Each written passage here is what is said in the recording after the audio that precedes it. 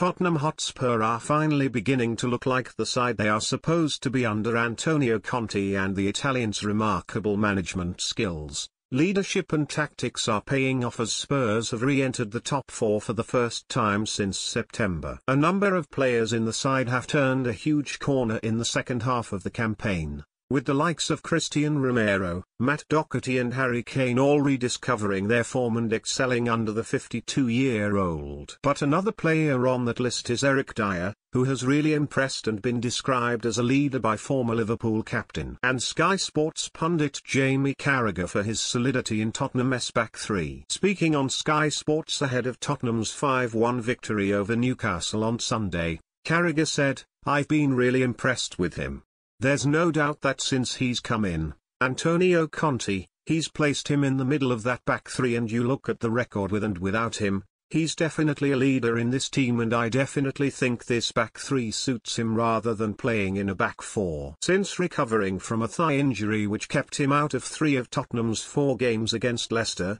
Chelsea, Southampton, and Wolves between January 19 February 13, Dier has started all of Spurs following eight Premier League matches. And that began with the remarkable 3-2 victory away to Manchester City on February 19, in which Spurs have won six of those eight fixtures to reignite their top four hopes which they eventually moved into following their latest result on Sunday. Dier has formed part of a settled back three alongside Romero and Ben Davies, with the trio keeping three clean sheets in that recent run of games and has been credited for his leadership in the side, with Spurs looking like a dominant force in all areas of the pitch. The 28-year-old has racked up over 300 appearances for Spurs, proving his versatility by playing as a holding midfielder, centre-back and even right-back during his time at the club but it looks as though he has finally found his home in a back three in Continue 3-4-2-1 formation. Dier has had his fair share of critics during his time at the club but, since a revival under Conte,